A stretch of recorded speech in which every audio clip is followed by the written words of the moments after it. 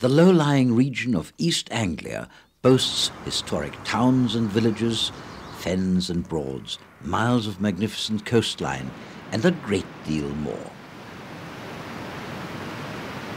While the train from Cambridge to Sheringham and beyond provides a delightful introduction to this quiet corner of rural England.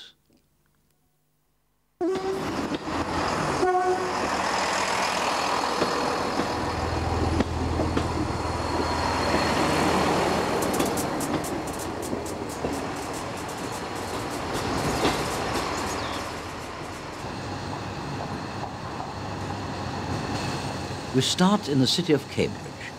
Settled since Roman times, the present layout converges on the ancient Norman church of the Holy Sepulchre and on the marketplace, which is dominated by the church of Great St. Mary.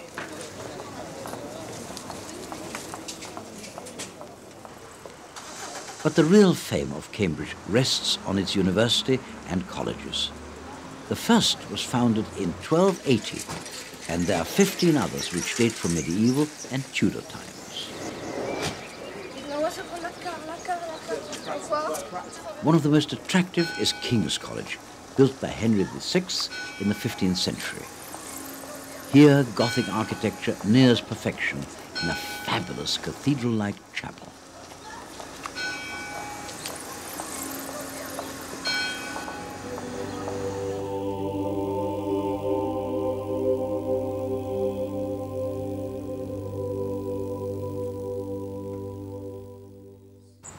Behind the colleges is the River Cam in an area known as the Backs.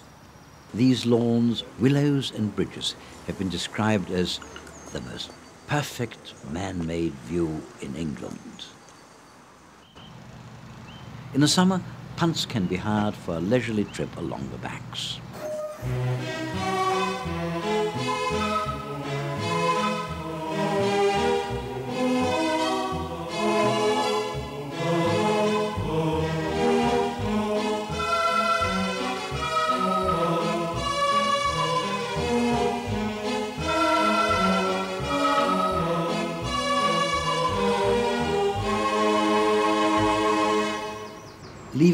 On the St Edmunds line, we head east towards Ipswich.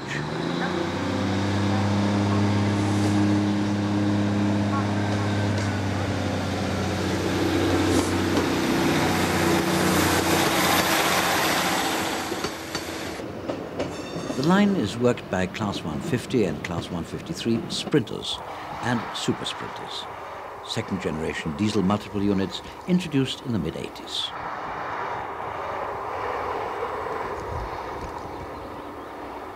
Newmarket is a pleasant town, famed as the home of the Jockey Club and Britain's main centre for horse racing. English monarchs have been coming to the races here since the 1600s. During one visit by Charles II, most of the town was destroyed by fire and had to be rebuilt. For anyone interested in the turf, the National Horse Racing Museum is a must.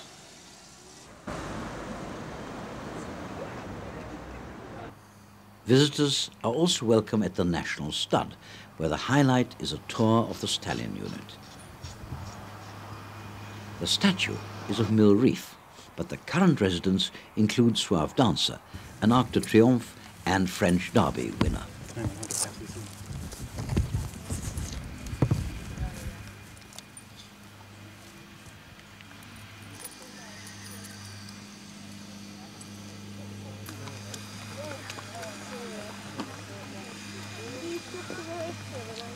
lines you can see across the top there, Peabo Dominate, Dominion, Rookie Shot, It's quite fascinating to study the pedigrees of the stallions.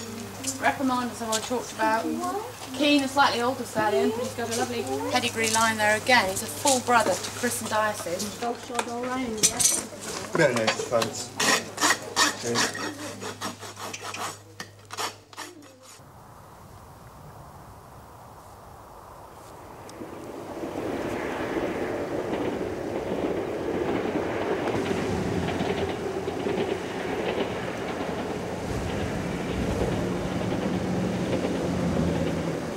wide open fields lead on to Bury St Edmunds, a Saxon settlement almost one and a half thousand years old.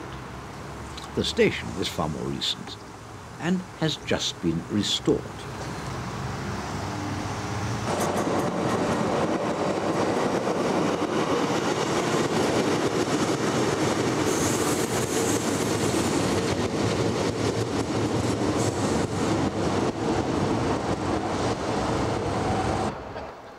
On the platform, a painter records the old maltings, now redundant and awaiting demolition.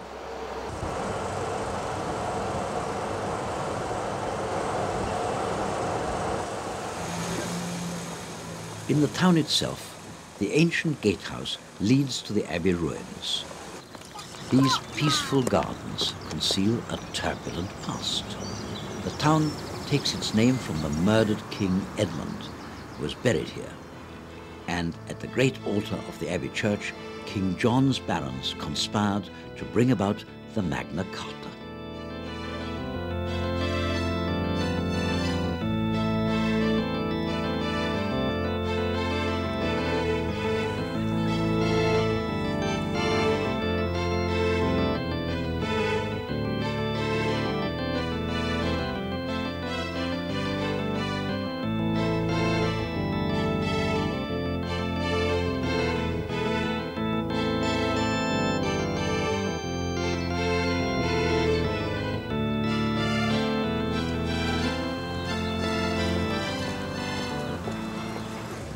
The town itself is mostly Georgian, but based on the medieval formula of a square for God and a square for man.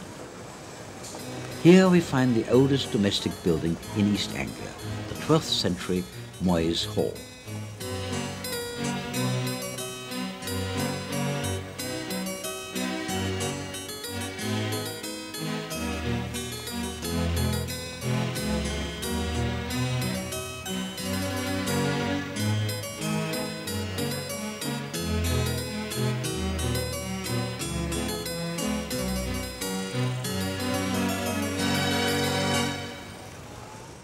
Just a few miles away is the West Stow Anglo-Saxon village. Archaeological excavations have led to the reconstruction of a settlement which dates from about 600 AD.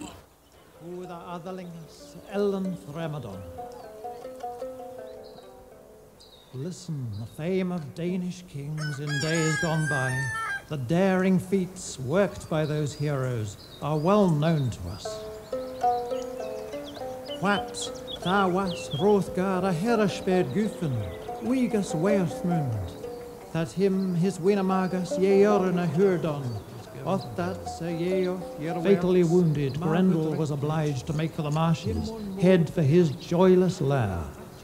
He was well aware that his life's days were done, come to an end. After that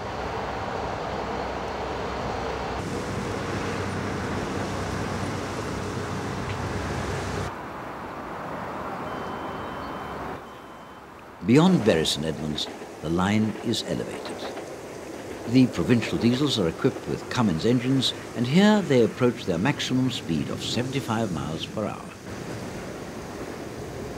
The quiet Suffolk village of Elmswell has an impressive church, a reminder of the region's importance in earlier times. The calm is disturbed by the fast intercity trains, which also use the line.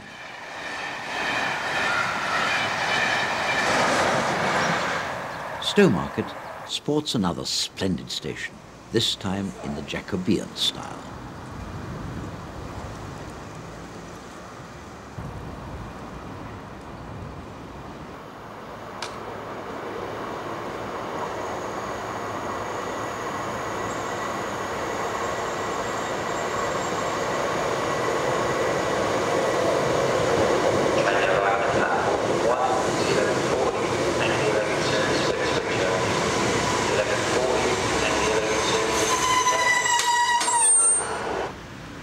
town, the church has both a tower and a spire, and there is an excellent museum of East Anglian life.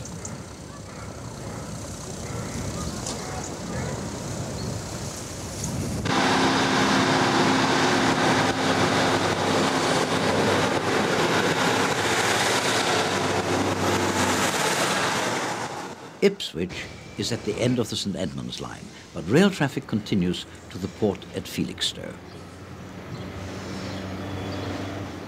Ipswich town centre is based on an ancient butter market. You have to look up to see the best of the buildings. It's the upper stories which have escaped modernization.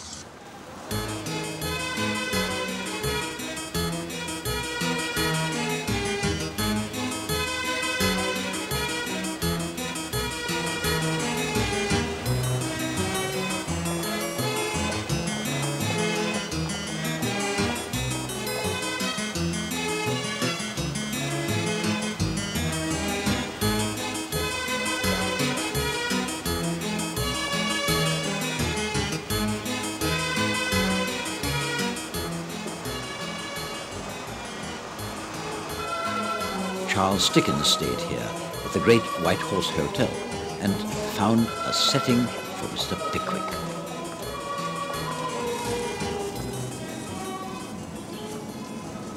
Ipswich was the birthplace of Cardinal Wolsey and still has no less than 12 medieval churches. The Church of St. Mary Le Tower once sheltered within the town's defensive ramparts. It still provides sanctuary from the outside world.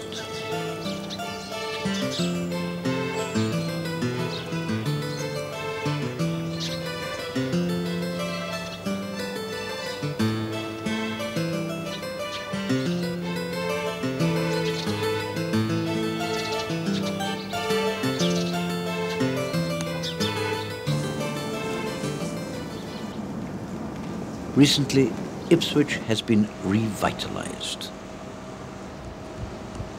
Impressive modern flats and offices now front the old docks with a few traditional Thames barges to provide a touch of authenticity.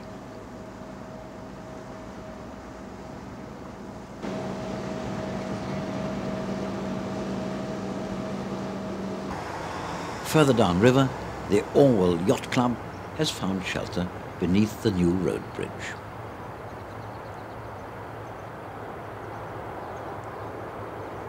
The East Suffolk Line was opened in 1859 and runs from Ipswich to Lowestoft.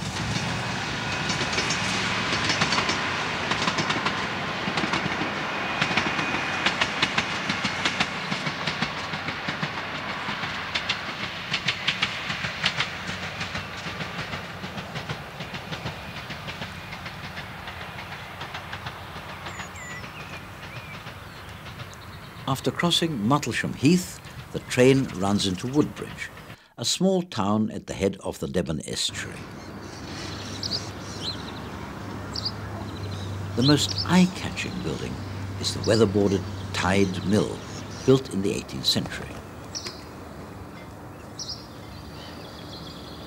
Boat builders and sailmakers have been at work here for at least six centuries.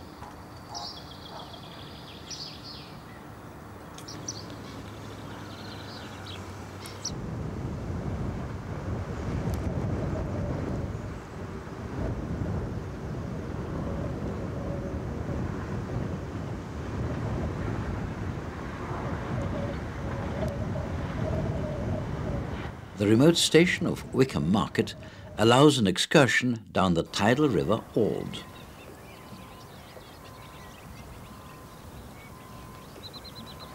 The salt marshes are home to many species of wild birds, and sailing barge trips are available from the riverside centre at Snape Maltings.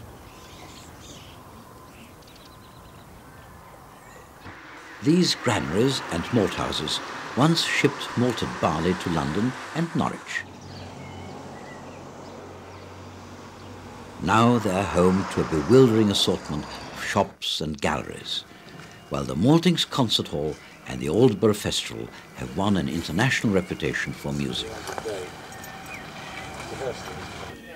There's also a school of music named after the composer Benjamin Britten, who composed his opera Peter Grimes here.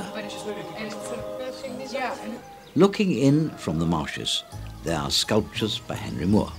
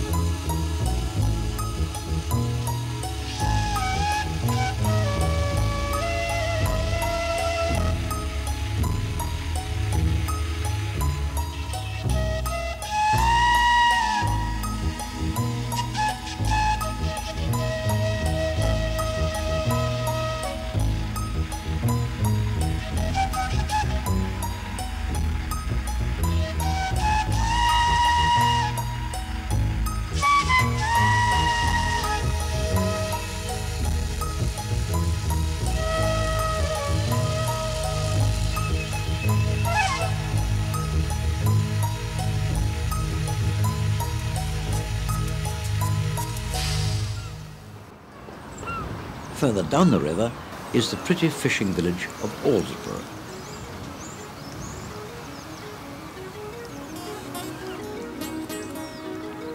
The moot hall dates from 1650 and is an elegant blend of brick, stone and timber.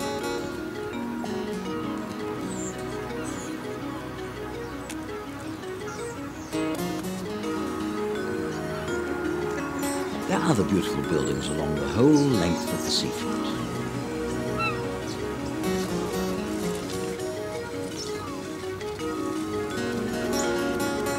Many of the locals still make a living from the sea, and the beach is given over to their boats, nets and huts.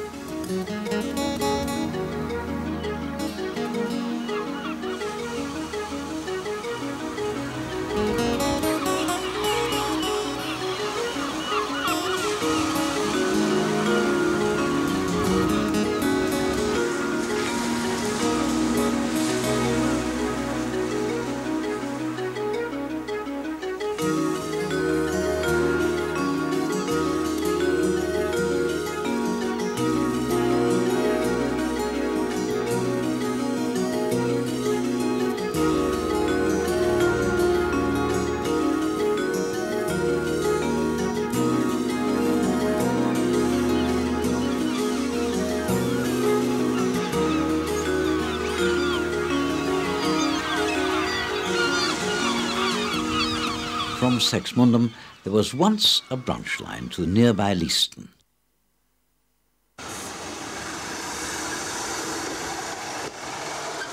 The station houses the only remaining signal box on the line, now a computerized control center with automated level crossings and radio communication to the drivers.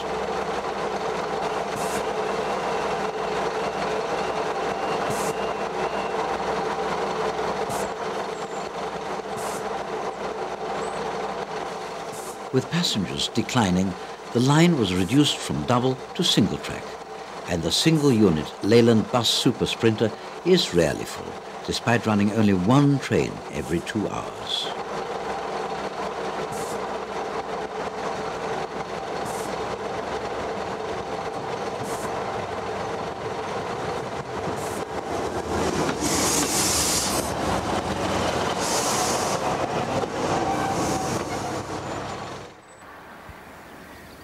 Leiston's abbey ruins date from the 14th century. Like so many others, this abbey was disbanded by Henry VIII.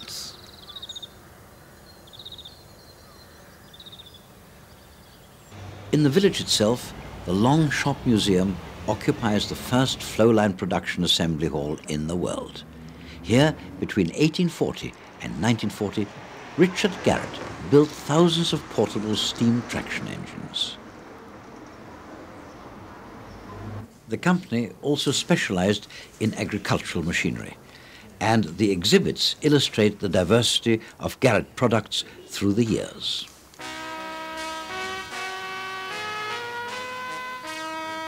The long shop itself was completed in 1853 and was known locally as the Cathedral.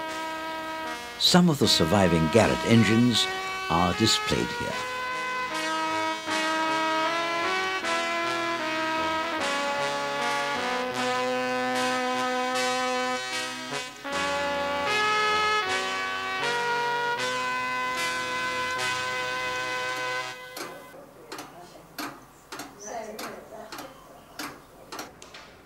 Gradually, the museum's collection is being restored, and visitors can keep an eye on their progress. It's um, Garrett 4CD tractor. It's one of the smaller uh, traction engines Ga- Garrett's produced. Really, every part of the engine has been uh, cleaned right down and repainted.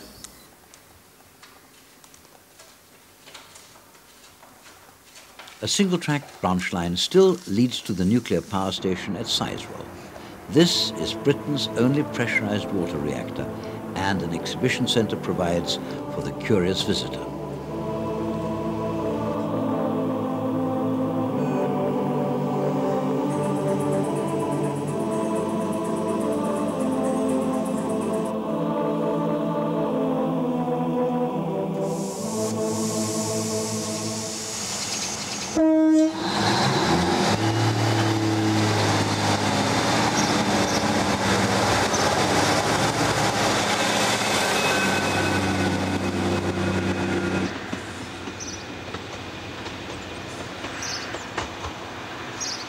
From the next station, Darsham, it is possible to explore the Suffolk Heritage Coast.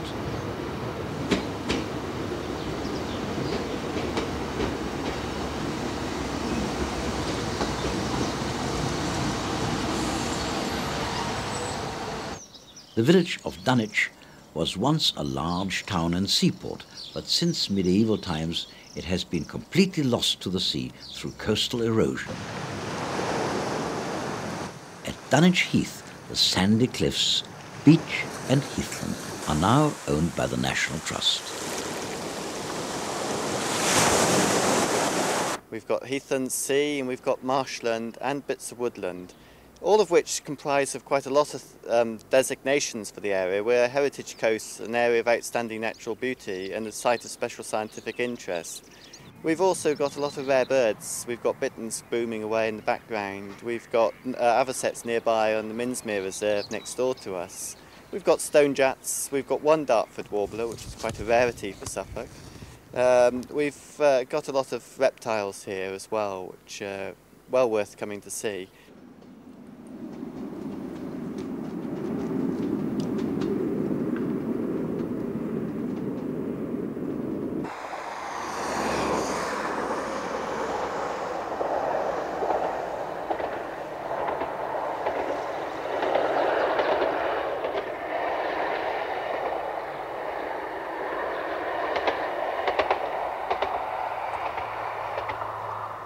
Approaching Lowestoft, the line crosses Oulton Broad.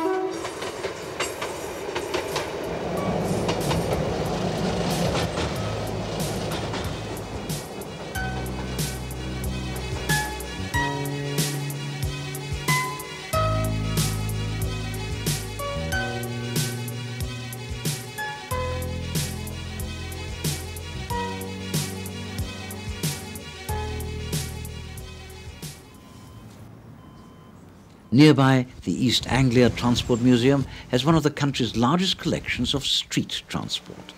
Trolleybuses and trams are regularly in action with pre-war shops and buildings to provide an authentic setting.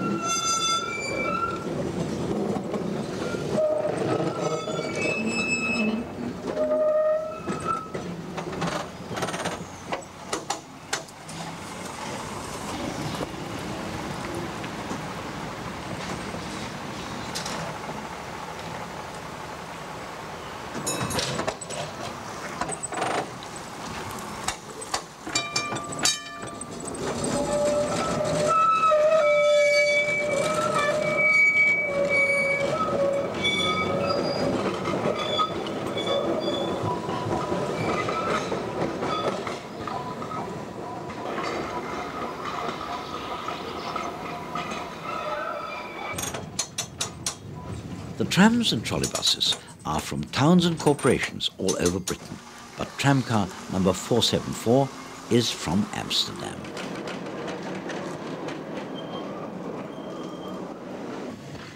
Number 159 was built in 1927 and served as an illuminated tram in Blackpool.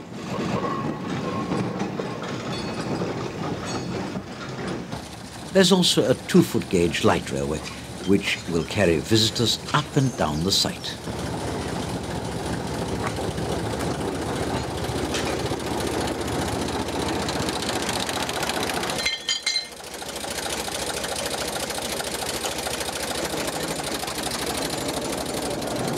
The locomotive is a 1936 Ruston which first saw service in a cement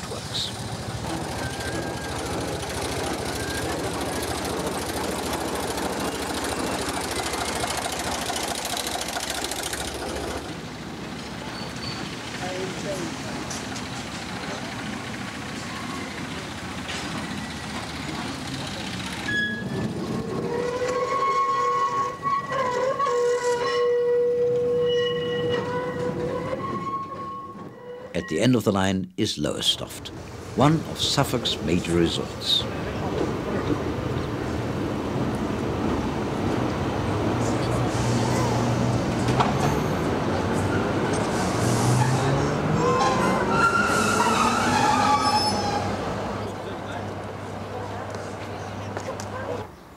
The park at Sparrow's Nest provides quiet relaxation. Bowling Green Cottage houses a small maritime museum cobbled steps and paths lead to the site of the original beach village.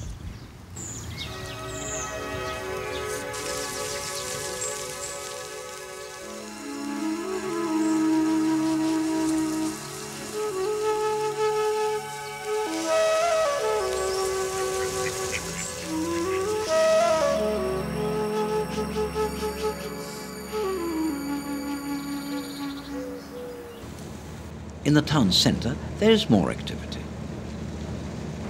Lowestoft still supports a large fishing fleet and the fish dock has recently been refurbished.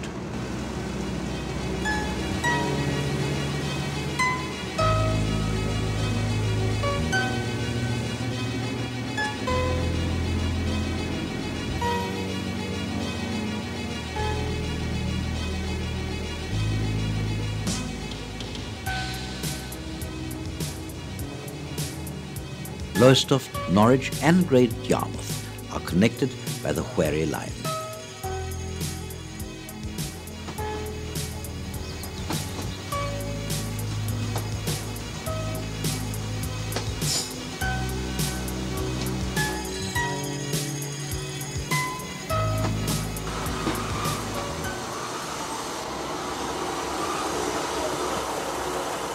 Near to Oulton Broad North is Boat World. This is an international training college for boat builders where visitors are welcome to look around and watch the boats take shape.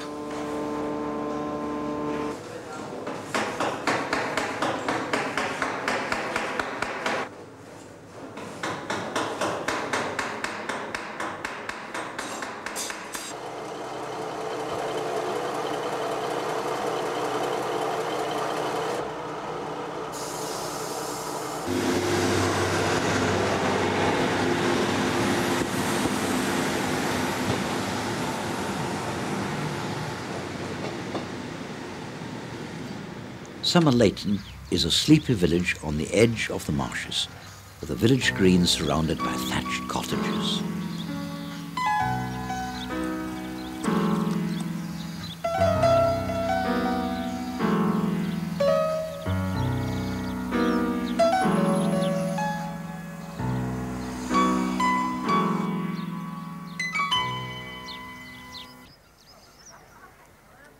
Somerleyton Hall is a magnificent Victorian mansion and the home of Lord and Lady Somerleyton.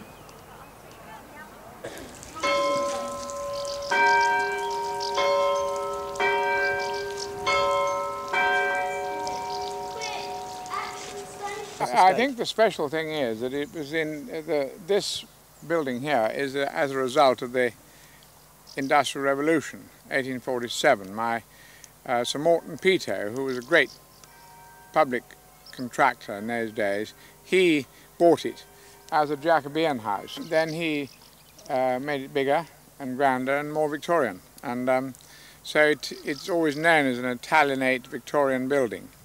Great-grandfather came here in 1863. He bought it from Sir Morton Peto. He bought the whole estate from Sir Morton Peto. And he was a carpet manufacturer in Halifax, in Yorkshire and um, he bought this to retire to, but in fact he never did really retire here, but he was also living in Halifax.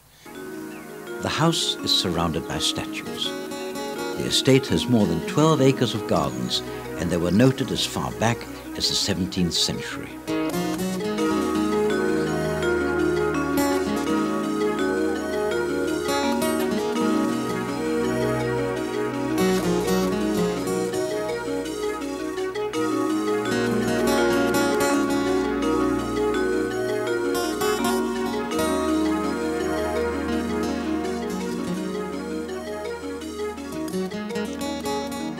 Of the most popular features of the garden is the maze, one of the finest in Britain. It was designed by William Nesfield and planted in 1846. In the center of the maze, there is a small pagoda on top of a grassy mound.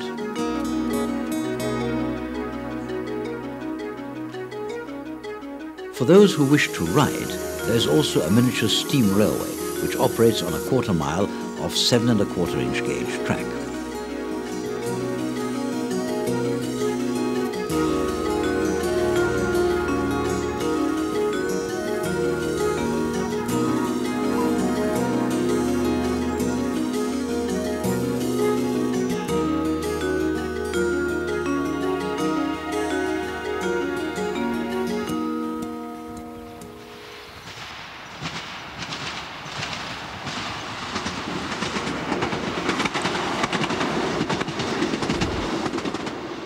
We move on to Reedham, from where a line runs north through Berney Arms to Great Yarmouth.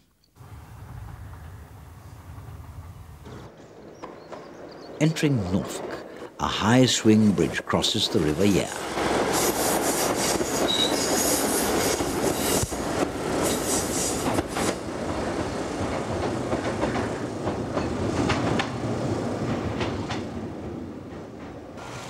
This river is always busy with holiday traffic. Reedham, a chain-hauled car ferry provides the only road crossing between Norwich and Great Yarmouth.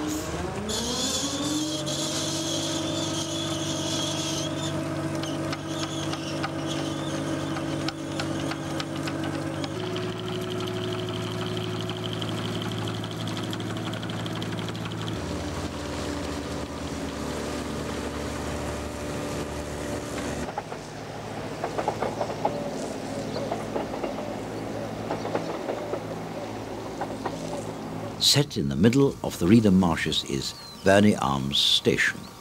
It is one of Britain's most isolated, with access only by boat.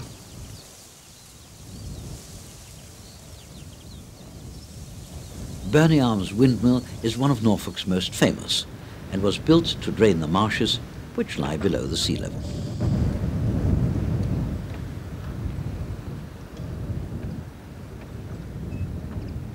A nature reserve covers the marshes, which is home to many wild birds and animals.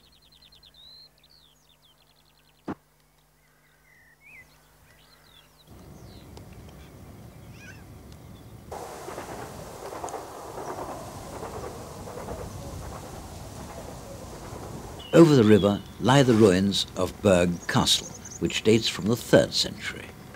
This was the Roman fort of Gariannonum, built to defend what was once a great estuary from the Saxon marauders.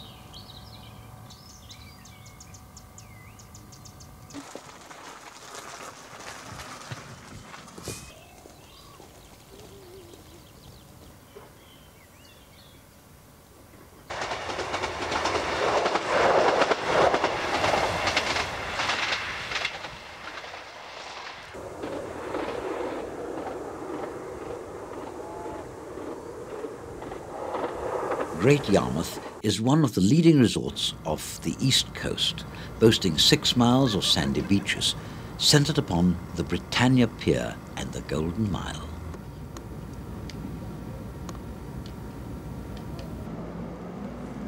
As well as the traditional seaside attractions, there is a fine monument to Lord Nelson, a busy port, and the remains of medieval walls and churches.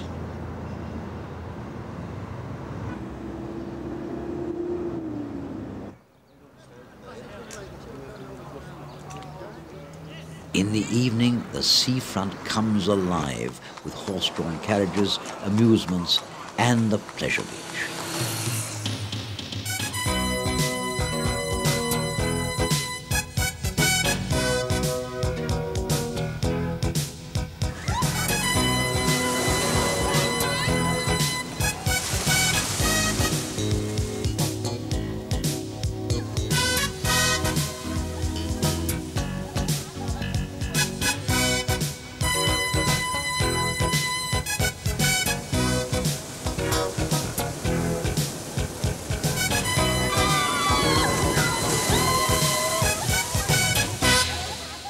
Passing west through Acle, the Wherry line heads for Norwich.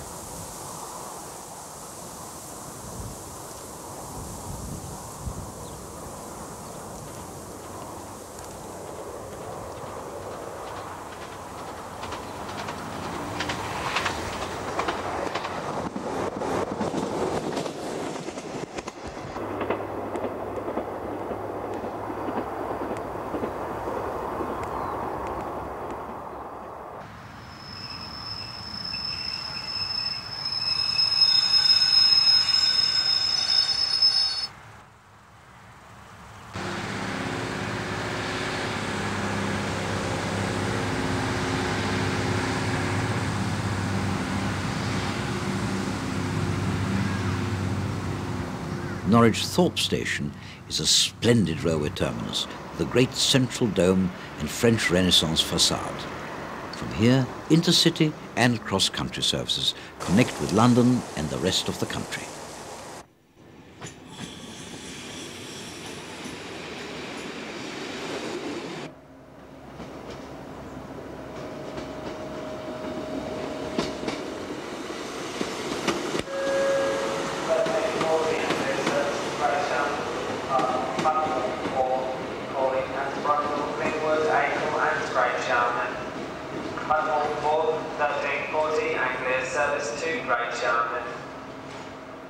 The capital of East Anglia has been a place of importance for over a thousand years.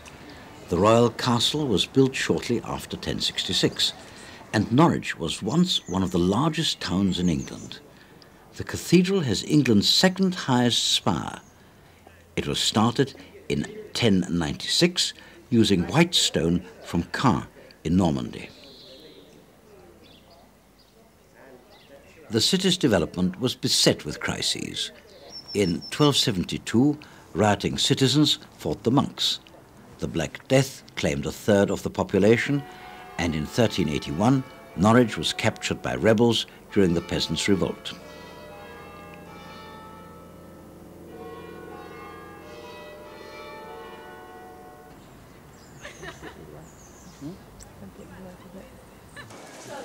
The tiny streets and alleyways are crammed with unusual shops and museums, including the source of the original English mustard.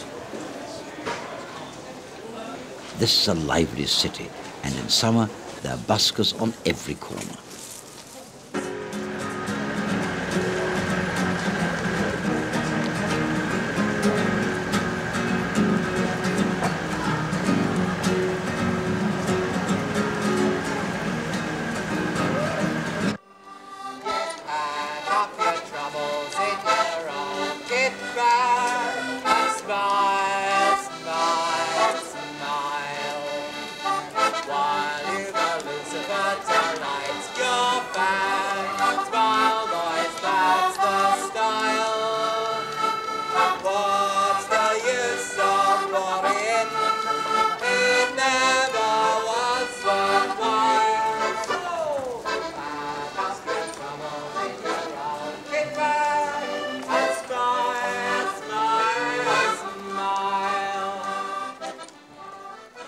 Head north now, on the Broads Line.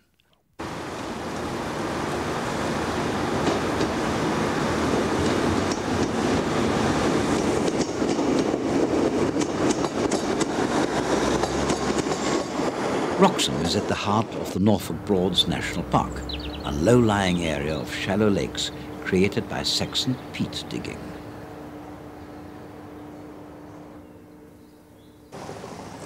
The best of the Broads can only be seen from the water, and there are hundreds of pleasure craft available for hire.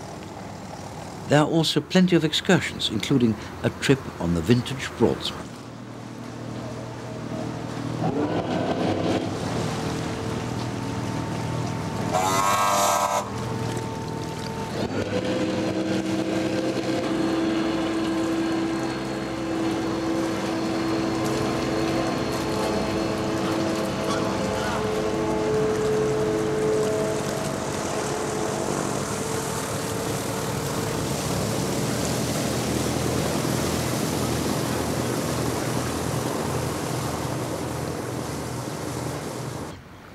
Wroxham Broad is a favourite with sailing boats, and there's always plenty of wildlife to see.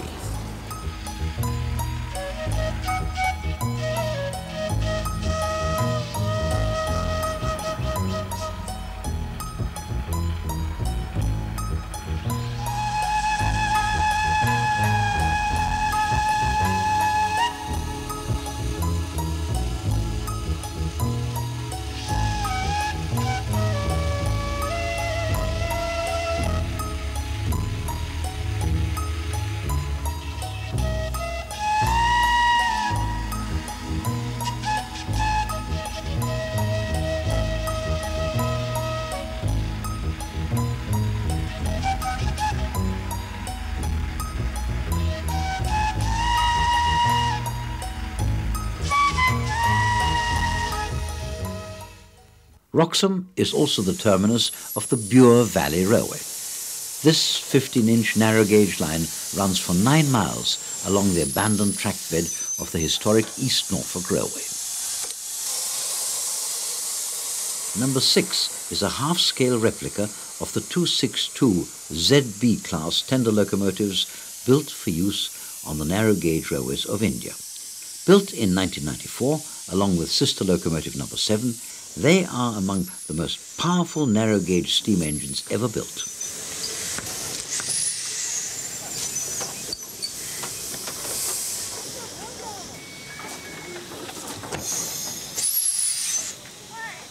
After taking on coal and water, number 6 runs around a train before running up the line to Aylsham.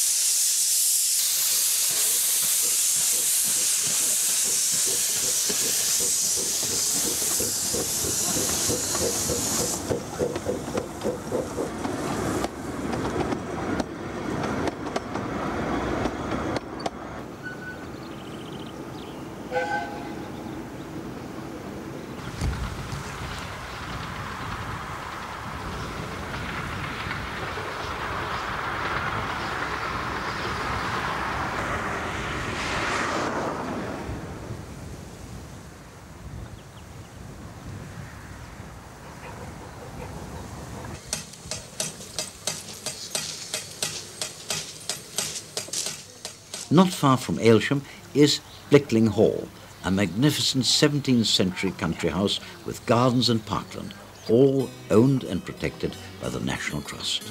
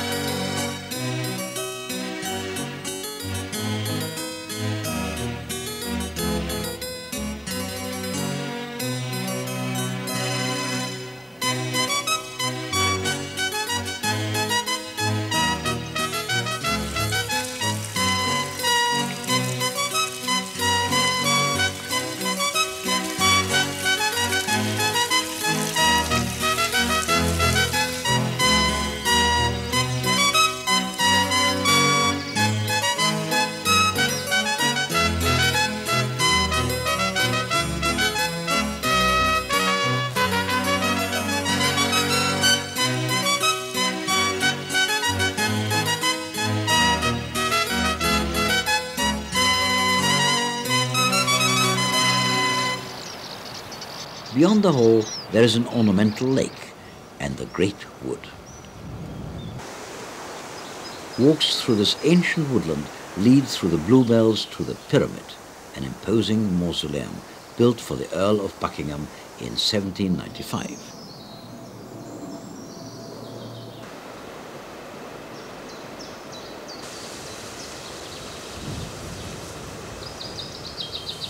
Narrow gauge diesel number three pulls into Aylsham as the ZB class locomotive prepares to return to Wroxham.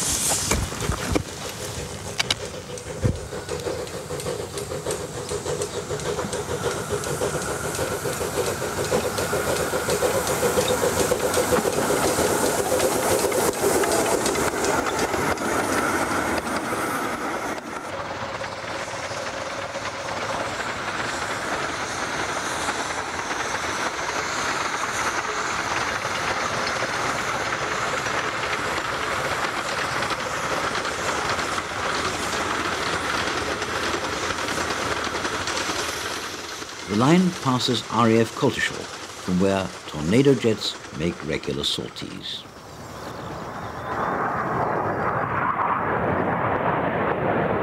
Back on British Rail, the next stop is at North Walsham.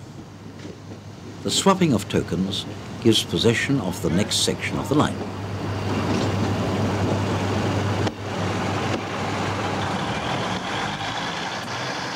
North Walsham has an unusual covered market dating from 1550.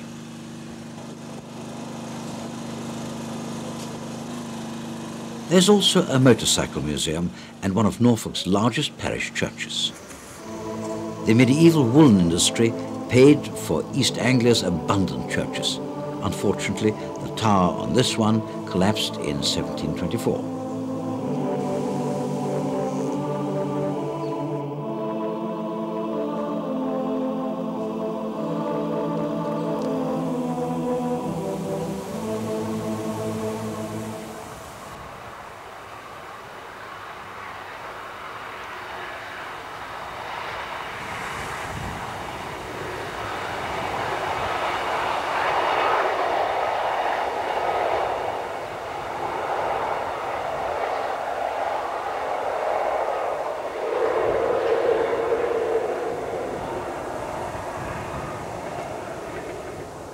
Cromer Station, built by the Eastern and Midlands Railway in 1887, is a terminus, and the train must reverse before continuing.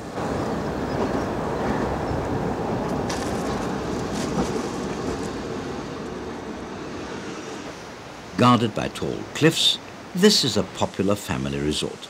The pier was opened in 1901 by Lord Claude Hamilton, chairman of the Great Eastern Railway.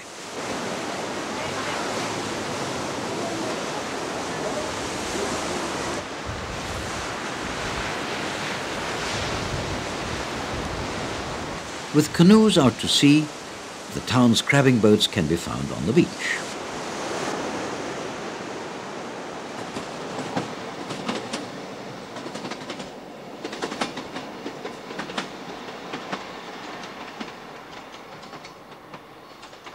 This last section of line through West Runton is the only surviving piece of the old Midland and Great Northern Railway.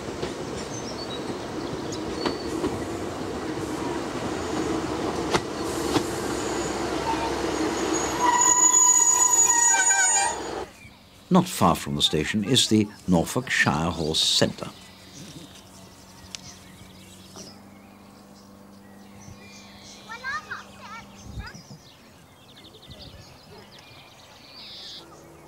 As well as collecting different breeds of draft horses, British ponies and other animals, the centre has an extensive collection of machines, carts, wagons and caravans. There are also daily demonstrations and special events five little fingers and toes like we have.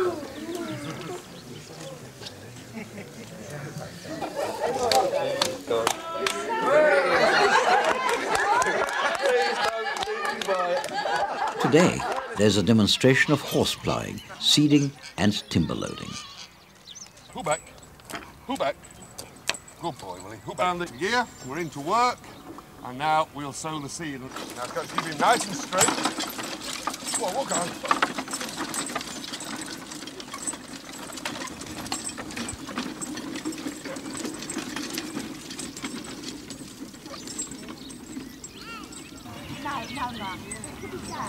Good, boy. I want to keep that that way, I bet you got it.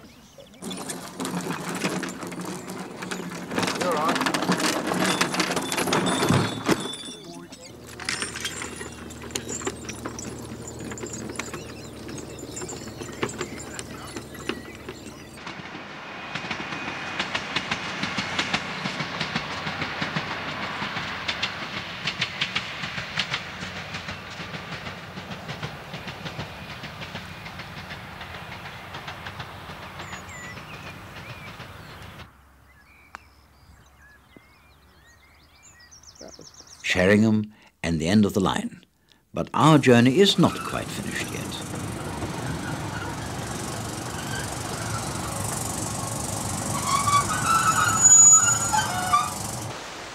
This old fishing village now attracts holidaymakers. Above the town, there are paths along the steep glacial cliffs of Beeston Bump.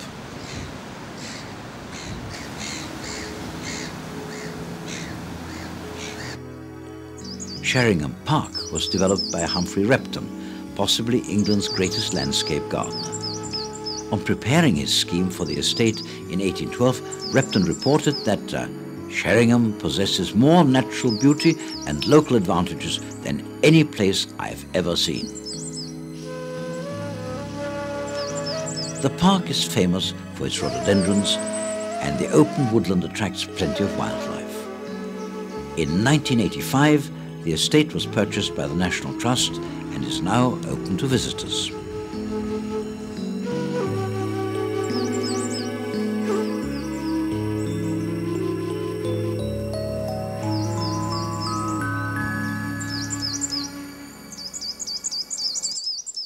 But Sheringham has another railway station, from where the North Norfolk Railway runs full-size steam trains along a preserved line to Holt.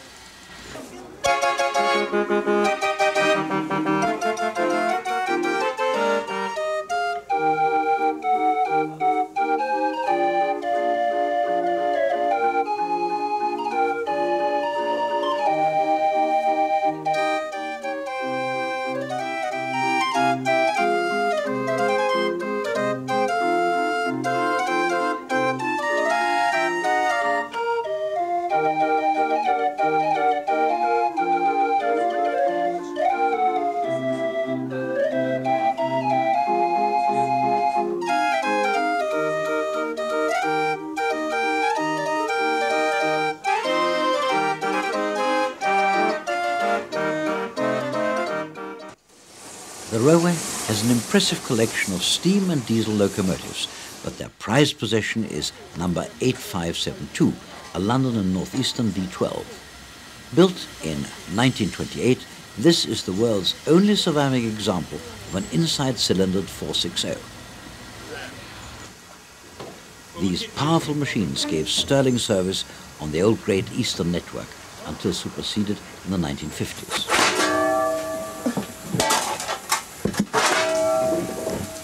Eight five seven two was saved for preservation and finally restored over 30 years later in 1994.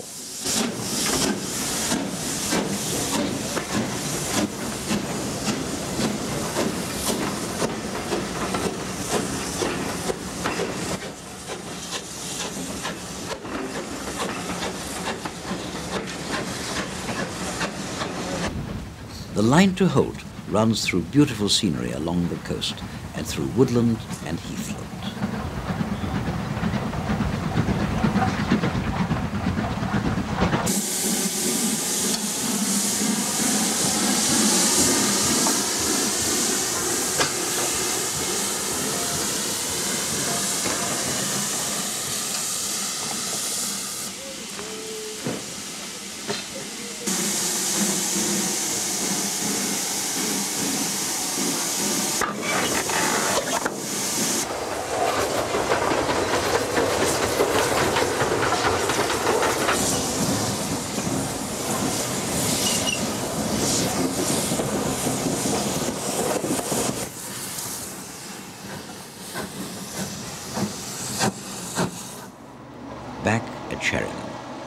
12 prepares for a Pullman wine and dine evening special.